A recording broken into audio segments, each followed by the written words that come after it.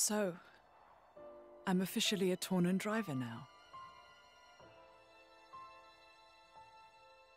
Okay, let's make some memories.